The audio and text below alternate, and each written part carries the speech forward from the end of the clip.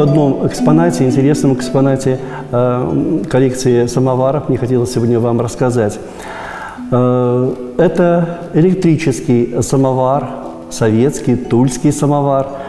Дата производства 1970 год, э, но вид у него совершенно старинный. Но это не жаровой самовар, это электрический самовар. Э, работает он от электрического тока 220 вольт. Мы заменили тен в этом самоваре с 5 киловатт на 3 киловатта. Интересно, что греется он 45 минут и объем 45 литров. Э, такие самовары, э, конечно, можно было использовать э, в буфетах, а он так и называется – трактирный или буфетный самовар. Изготовлен он на заводе «Штамм» имени Ванникова в Туле.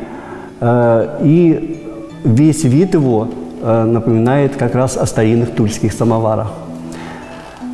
Греется, как я сказал, уже 45 минут, э, и почти 250 человек можно напоить из этого э, самовара душистым чаем.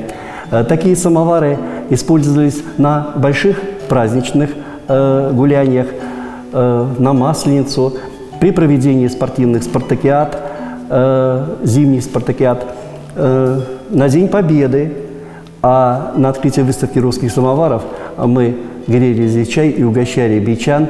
А, да, почти 300 человек мы угостили из этого самовара. А, его также можно использовать а, и на даче, в загородных домах для больших чаепитий. Проблема решается быстро. 250 человек напоили, 45 минут, и он снова готов к работе и может угощать чаем еще почти 250 человек. Интереснейший экспонат. Э, такие электрические самовары, самые большие, могут быть до 300 литров, но наш самовар, конечно, чуть поменьше, но тоже замечательный экспонат нашей выставки.